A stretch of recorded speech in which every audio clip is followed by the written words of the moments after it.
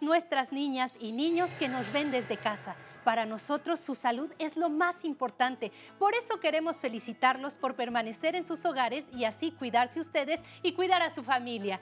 Y miren quién está con nosotros una vez más. Hola Itza, ¿cómo estás? Hola, estoy muy bien, muy emocionada de estar con ustedes. ¡Eh! A nosotros también nos da mucha emoción recibirte.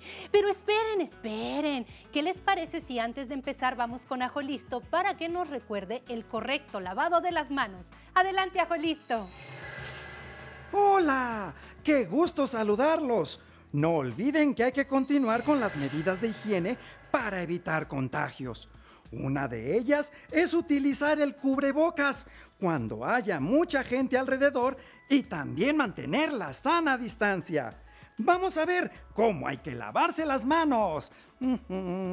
Lavarse las manitas con agua y con jabón. Lavarnos las manos varias veces al día es importante para prevenir cualquier enfermedad. Sigue estos pasos para hacerlo correctamente. Moja tus manos. Usa suficiente jabón. Frota tus palmas una con la otra. Ahora, frota la palma de una de tus manos contra el dorso de la otra entrelazando los dedos. Repite lo mismo con la otra mano. Frota los dedos. Ahora haz como que rasguñas la palma de tus manos para lavar tus uñas. Enjuaga tus manos con agua. Sécalas con una toalla. Y listo, tus manos están limpias. Si no tienes agua y jabón, usa desinfectantes a base de alcohol. ¡Cuídate!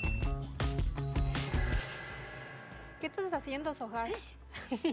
Le estoy escribiendo una carta a Rosita. Desde el lunes que vino a visitarnos no la he visto y me gustaría invitarla de nuevo al programa. Qué buena idea. ¿Quieres que te ayude a redactarla? Ay, sí, por favor, porque mira, no sé ni por dónde empezar, no me sale. Mira, las cartas se componen por diferentes partes. Con ayuda del siguiente juego las descubriremos. El juego se llama Arma tu carta. Oh, a ver, ¿de qué se trata? Mira, aquí tengo unos sobres en donde están escritas las partes que conforman a una carta. Los vamos a abrir y a descubrir el orden en el que van. ¡Oh! Mira, aquí están, tenemos seis. Cada uno tiene una parte de la carta. Vamos a empezar.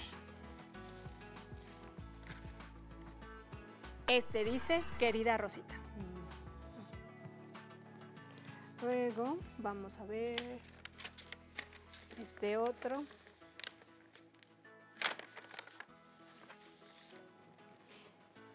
Mientras tanto, cuídate, te queremos. Mm. Siguiente. Con cariño, Itza y Sohar. Ah. Qué bonito. Te los voy pasando. yo creo. Vamos con el siguiente. Ay, este trae en dos partes. Dice México, Ciudad de México. Y la siguiente parte dice 9 de diciembre 2020.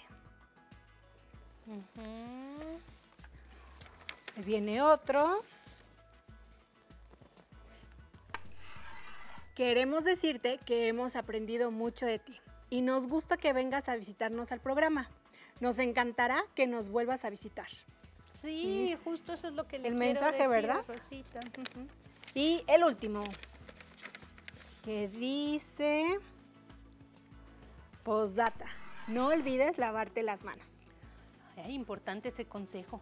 Sí, ahora Sohar, ayúdame a acomodar las partes de la carta en el pizarrón para descubrir el mensaje. Sí, vamos a acomodarlas, a ver, Listo, te las voy a ir pasando. por favor.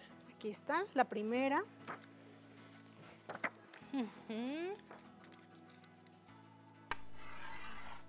Listo. Siguiente. Sí.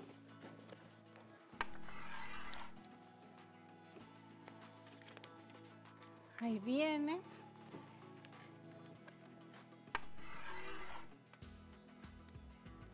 Aquí está.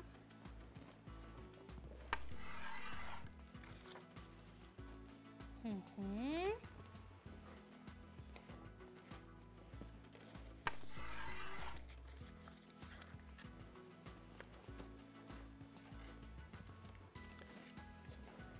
¿Alguna otra? Sí, la última.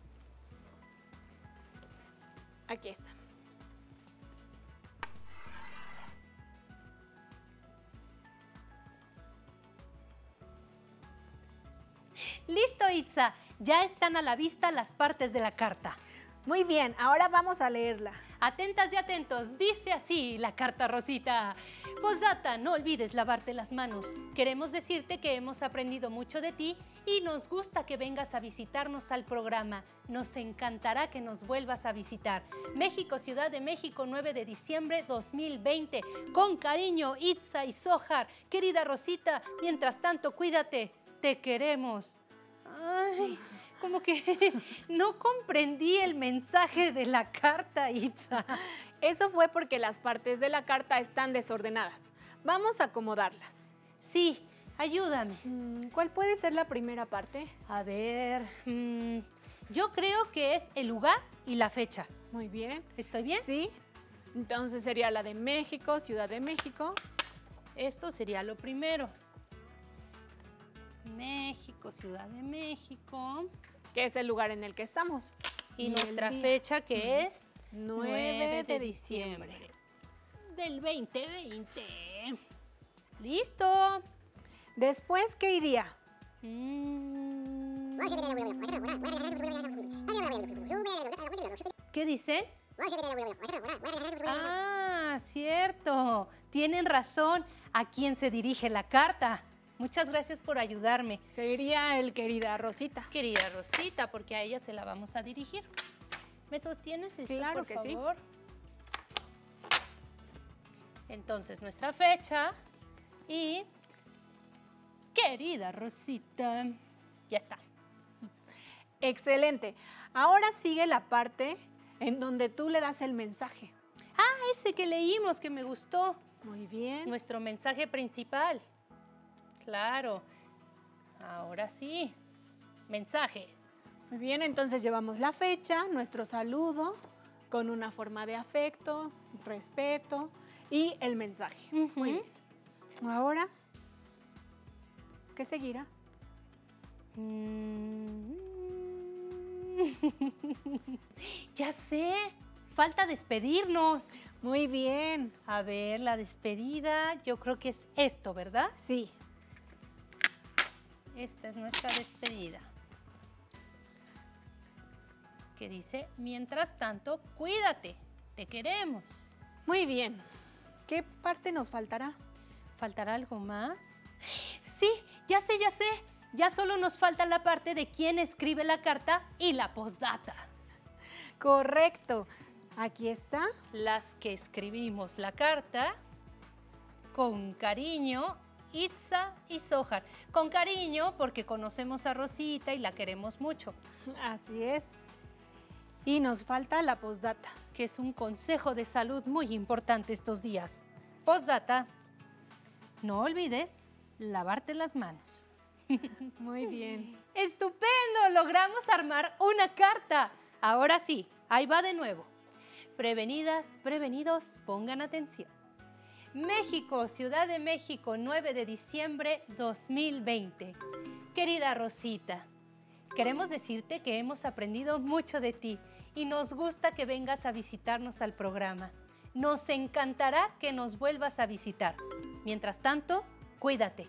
Te queremos. Con cariño, Itza y Sohar. Posdata, no olvides lavarte las manos. Bien, ahora sí la entendimos. Sí, ahora sí. Recuerda que las cartas tienen la finalidad de transmitir una idea o un mensaje. Esperemos que con esta carta Rosita sepa que la queremos mucho y queremos que regrese al programa. Sí, Rosita, te queremos pronto aquí. Ya sé cómo hacer una carta.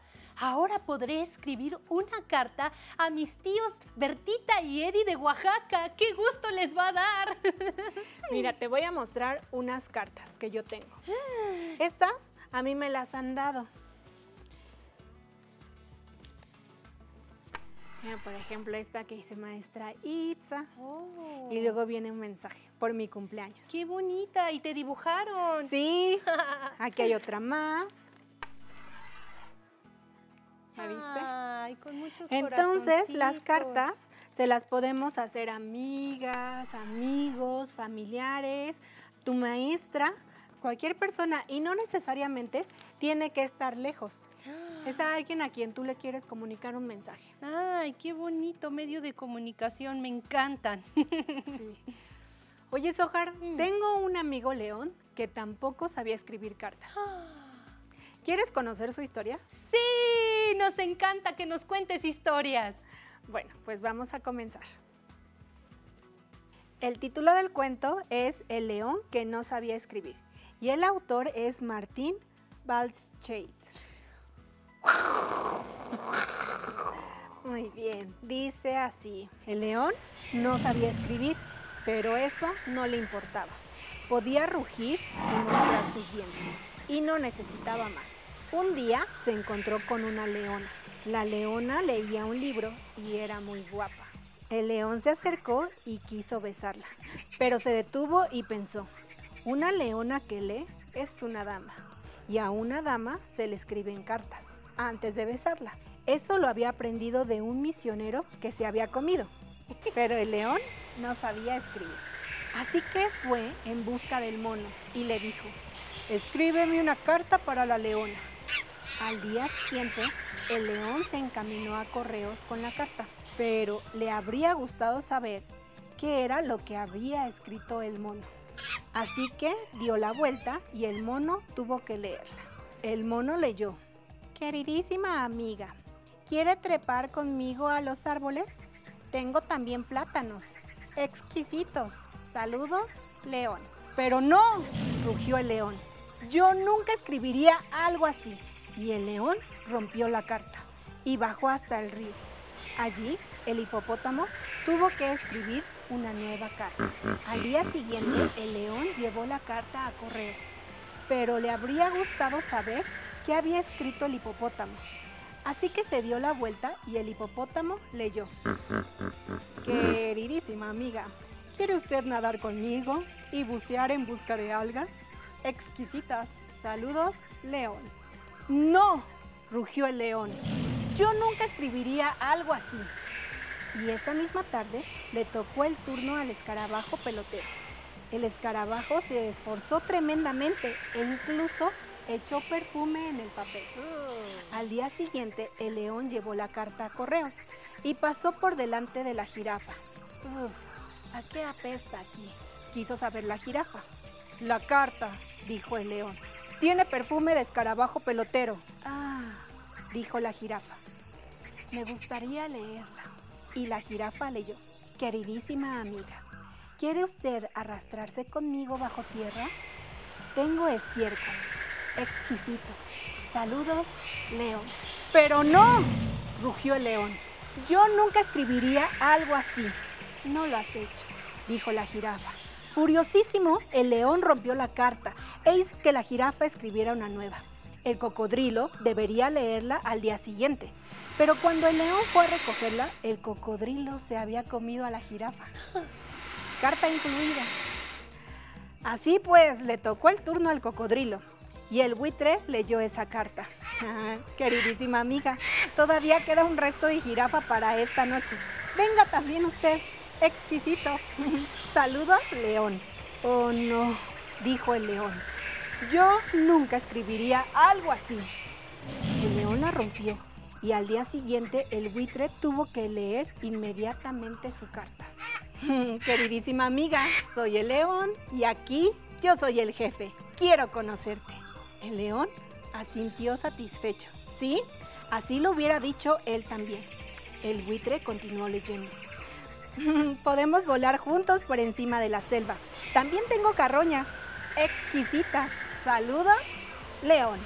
Ya era suficiente. ¡No! rugió el león. No, no y nuevamente no. Yo escribiría lo hermosa que es. Le escribiría lo mucho que me gustaría verla. Sencillamente estar juntos. Estar tumbados, holgazaneando bajo un árbol. Sencillamente mirar juntos el cielo al anochecer. Eso no puede resultar tan difícil. Y el león se puso a rugir. Escribió todas las maravillosas cosas que él escribiría. Si supiera escribir, pero el león no sabía. Y así continuó rugiendo un rato. ¿Por qué entonces no escribió usted mismo? El león se dio la vuelta. ¿Quién quiere saberlo? Yo, dijo la leona del libro. Y el león, de afilados colmillos, contestó suavemente. Yo no he escrito porque no sé escribir. La leona sonrió. Empujó tiernamente al león con su nariz y se lo llevó con ella. Ah, de amor. Y ahí es el final de nuestra historia. ¡Uy! ¡Qué bonita historia, Itza! Sí, me gustó mucho. ¿Qué les parece si ahora le ayudamos al león a escribir su carta? Pensemos. ¿A quién le quería mandar la carta el león?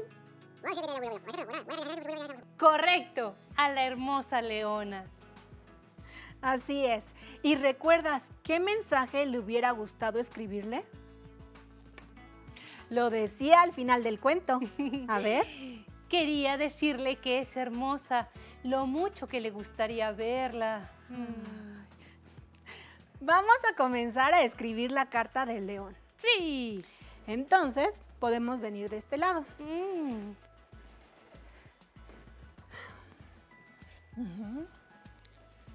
¿Cómo podemos comenzar? Vamos a hacer un borrador para ver cómo puede quedar mejor la carta que escribimos. Y luego vamos a pasarlo a una hoja en limpia. Platica con tu familia cómo te gustaría mejor la carta. Podemos comenzar por el lugar donde el león le está escribiendo la carta a la leona. O sea, la selva Sí, puede ser. entonces vamos a colocar selva. Supongamos que se le escribe hoy, Hoy estamos a 9 de diciembre. 9 de diciembre 2020. Mm, ¿Para qué se escribe la fecha, Itza? Ah, para que la persona sepa en qué día se escribe la carta y en qué lugar estabas escribiendo esa carta. Ah, cierto, es importante. Ahora me parece que podemos seguir con el saludo. Muy bien, mm, podemos poner hola Leona. Hola. Hola Leona. Mm, Ahí está. Hola Leona. ¿No? ¿Crees que a León le gustaría ese saludo? no, ¿No? sé, no, no. Algo más afectivo, ¿no? Más cercano. Mm, mejor podemos escribir querida Leona. Sí. O estimada pues Leona. sí, si la quiere conquistar, me gusta más querida leona. Querida Leona. Se escucha como, como más cálido. Entonces puedo tachar el hola Sí. y voy a escribir querida Leona. Querida Leona. Sí, me gusta más. Sí, como que muestra más afecto, ¿no? Perfecto. El saludo que se escribe en la carta depende de a quién le vas a escribir y la relación que tengas con esa persona. Ahora tenemos que escribir el mensaje de la carta. ¿Cuál era el mensaje que León le quería dar a la leona? Correcto. Vamos a escribir, quiero que sepas que eres muy hermosa. Me agrada mucho tu compañía. Me gustaría estar juntos y poder mirar el cielo al anochecer. Uy, está perfecto ese mensaje. Sí. Vamos a escribirlo, te lo voy diciendo. Muy. Quiero que sepas que eres muy hermosa. Quiero que sepas que eres muy hermosa. Ujú. Punto y seguido. Me agrada mucho tu compañía. Me agrada mucho. Coma, me gustaría estar juntos. Me gustaría. ¿Sí? Estar juntos y poder mirar al cielo al anochecer. Y poder mirar al cielo al anochecer. Ay, qué bonito mensaje. Quedó bien. Sí. En este mensaje, el león le dice palabras bonitas a la leona y eso demuestra el afecto que tiene hacia ella. Estoy de acuerdo. Ya casi estamos terminando la carta de León. Nos falta escribir, ¿recuerdan qué parte? La despedida. Muy bien, están muy atentas y atentos Sí. en casa. ¿Qué te parece si escribimos respetuosamente el león? Ay, no. ¿No? Bueno, a ver, inténtalo. Déjame ver cómo se ve. A ver cómo se ve. Respetuosamente. El león. Ajá. Mm, lo importante de hacer un borrador es que podemos justo elegir otras opciones y yo creo que es mejor si escribimos con cariño el león o con afecto el león. Un fuerte abrazo. ¿Cómo ves? Es que recuerdo que un día mis tíos, Eddie y Bertita, que me escribieron de Oaxaca, me decían en la despedida de su carta, te mandamos muchos besos. Y yo sentí que era como más afectivo, Ay, ¿no? Qué bonito, tienes razón. Bueno, podemos escribir con cariño y afecto el león. Sí, Suena me gusta, más, me gusta. más cercano. Más cercano, porque respetuosamente como que... Entonces, voy a tachar. Sí, Esto se va. eso lo tachamos Entonces quedamos con cariño. con cariño. Coma el león. A ver cómo fue. Con cariño, el león. Con cariño león. ¿Sí? sí, me parece bien. Para terminar, escribiremos la firma. Ah, tu amigo, el león. Puede ser el rey de la selva. A ver.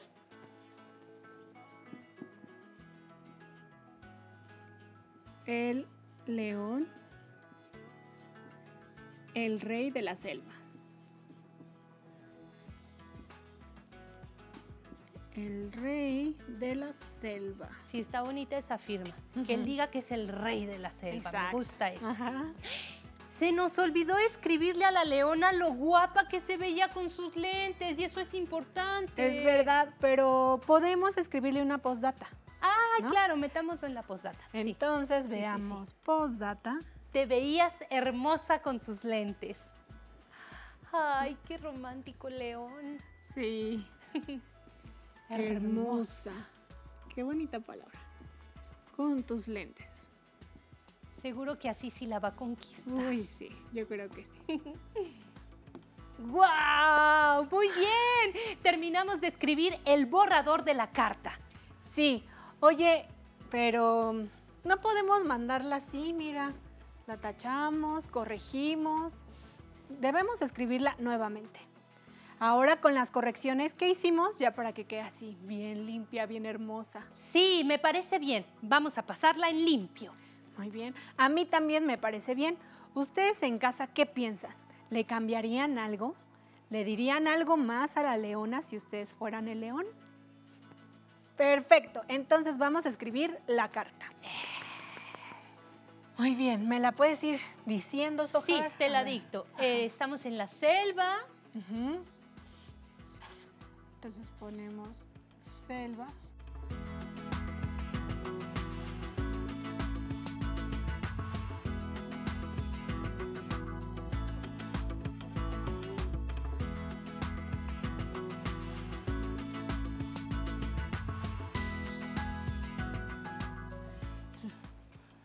Listo. Ahora sí ya terminamos. Vamos a leerla. Dice así. Selva, 9 de diciembre 2020. Querida Leona, quiero que sepas que eres muy hermosa. Me agrada mucho tu compañía. Me gustaría estar juntos y poder mirar al cielo al anochecer. Con cariño, el león. Tu amigo, el león, rey de la selva. Postdata, te veías hermosa con tus lentes. ¡Ay, qué romántico! Ya está lista la carta. Sí. Allá en casa, ¿por qué creen que el león quiso escribir una carta a la leona en vez de decirle ese mensaje frente a frente? Qué interesantes respuestas.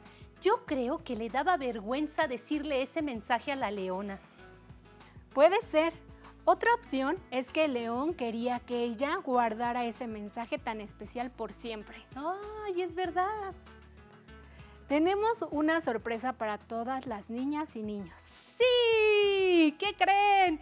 Que nosotras les escribimos una carta a todas y todos ustedes. ¿Quieren que se las leamos? Vamos a leerla. Dice así. Ciudad de México, miércoles 9 de diciembre del 2020. Queridas niñas y niños, queremos decirles que nos sentimos muy orgullosas de ustedes por ser tan valientes durante esta pandemia. Hemos notado que se han esforzado y siguen aprendiendo con nosotras y con sus maestras y maestros desde casa. Continúen cuidándose y echándole ganas a la escuela y a todo lo que hacen en familia. Los quieren Itza y Sohar. El día de hoy aprendimos que una carta lleva un mensaje importante y que es necesario organizar nuestras ideas para escribir una. Esperamos que les haya gustado. Con el apoyo de un adulto, anímate a escribir una carta a alguien de tu familia. Recuerda que las cartas nos permiten decirles cosas a nuestros seres queridos. Oye, Itza, ¿podemos registrar el cuento que leíste hoy en nuestro sí. tarjetero? El tarjetero de cuentos aquí está. Allá en casa, ¿recuerdan cómo se titula ese cuento? ¿Pusieron atención? ¿Me lo dices? Sí. El león que no sabía escribir. Ah, yo sí sabía, sí sabía, solo quería ver si mis amigas y amigos en casa se acordaban. Claro. El León león que no sabía escribir. escribir. Ay, qué bonito cuento, ya quedó. Registrado, ¿lo Muy verdad? bien, sí. Eh. Perfecto. Si te es posible, consulta otros libros y comenta el tema de hoy con tu familia. Y si tienes la fortuna de hablar una lengua indígena, ¿por qué no aprovechas este momento que estamos en casa para practicarla y platicas y escribes cartas con tu familia en tu lengua materna? Por hoy hemos terminado con La carta. Ojalá que nuestras amigas y amigos lo hayan disfrutado tanto como nosotras. Con esto terminamos con lenguaje y comunicación. Continuamos con educación física. Itza, muchas gracias. La verdad es que aprender a hacer una carta es algo muy importante, sobre todo en estos tiempos que tenemos que permanecer en casa y no podemos reunirnos. Creo que es una grandiosa oportunidad para comunicarnos. Así es, es algo que podemos utilizar y a mí me encantó haber estado con ustedes en este programa. Mm, A nosotros también. Y ojalá que les haya gustado la carta que con mucho amor les escribimos. Nos vemos pronto. Adiós. ¿Y qué les parece si para ir preparando motores para la clase de educación física nos ponemos de pie y hacemos juntos la siguiente pausa activa? ¡Vamos!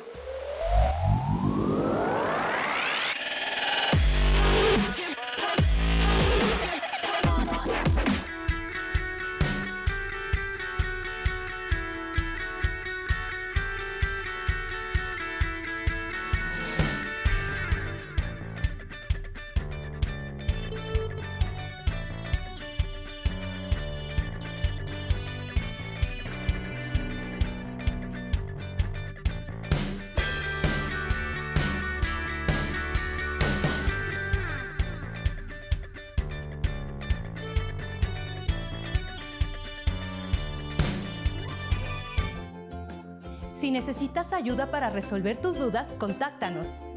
Página de internet cep.gov.mx. Correo buzón.escolar.nube.cep.gov.mx. Facebook arroba cepmx. Twitter arroba cep-mx. YouTube canal cep. Instagram arroba cepmx. Teléfonos Educatel 800-288-6688 y 800-734-7376. Para solicitar apoyo pedagógico, comunícate con maestras y maestros de lunes a viernes de 8 a 20 horas al teléfono 55 36 01 87 20 con 30 líneas. Si quieres volver a ver los programas de Aprende en Casa, los puedes encontrar en la siguiente liga aprendeencasa.cep.gov.mx.